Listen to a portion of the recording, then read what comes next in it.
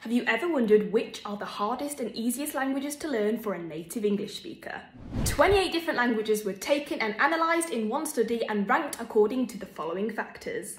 First, let's count down the top three easiest languages to learn. Coming in at number three, we have German. Despite it having fairly complex pronunciation, it's thanks to its similarity to English that gives it this positioning. At number two, we have Dutch. Again, a Germanic language, so there are lots of similarities when it comes to English and Dutch vocabulary. And the number one easiest language to learn is, of course, Spanish. Despite it boasting many different dialects and being one of the most fastest spoken languages in the world, it shares many similarities with English when it comes to grammar, and it is a phonetic language, which means it sounds how it is spelled. Now onto the top three hardest languages to learn. These ones might surprise you. Coming in at the third hardest, we have Finnish.